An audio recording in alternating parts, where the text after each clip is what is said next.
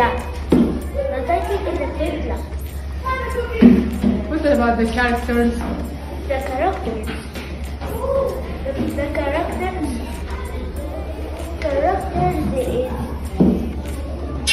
John and their grandma. Where's the? Where and where?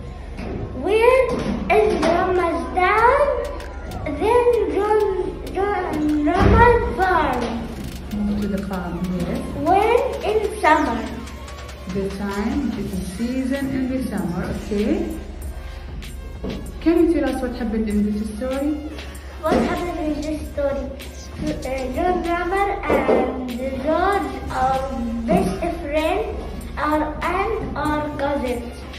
Then Are they twins? Do you think they twins? No, They are not twins, yes. What are they doing in this story? they make the twin club. They make the twin club. They had a secret handshake.